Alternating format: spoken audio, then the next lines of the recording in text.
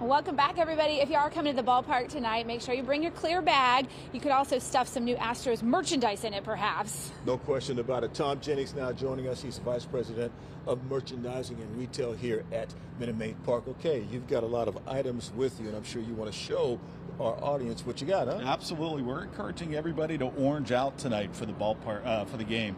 Uh, even if you're not coming out to the game, we're open till three o'clock tonight. So come out and buy some orange product, show it out in the city. This is a Yordan T-shirt that uh, was a big win probability sheet. That, I would uh, think so. Yeah, that the Mariners were uh, blasting uh, on social media. So obviously we love that one.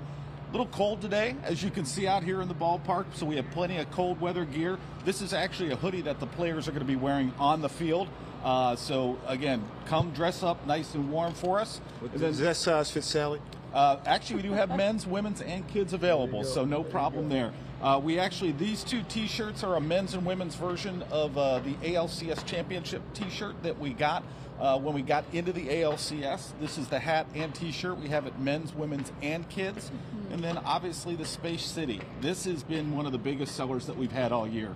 This is uh, a Yordan Alvarez version, and uh, people are losing their minds. I bet. Now, we saw on your social media, too, you've got a shirt that says, Who is your daddy? Is that still available? It's still available. We have plenty left. It's orange as well, so uh, we have plenty at the team sort of come uh, come orange out with us. What else do you have that fans might need to be aware of?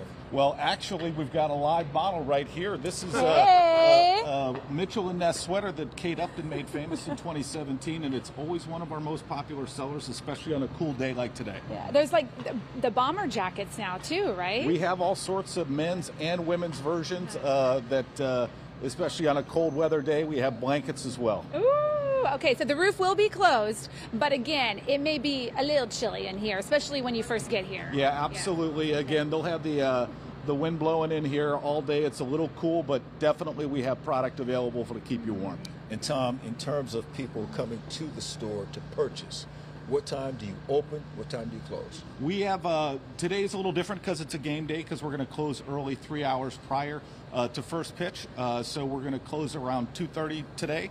Uh, so come on out and buy your merchandise uh, up until that point, and then we'll close for the Street Fest that starts at three. Okay, and, and the store inside the, the park, that'll be open. Correct. Okay. Correct. Absolutely. We're open during the game if the fans are coming out to the game, obviously. Seventh inning stretch, take a little walk, go get yourself something new, you right? There you go. All right, Tom Jennings, great to see you. Thank you so much. Thank you. Appreciate it.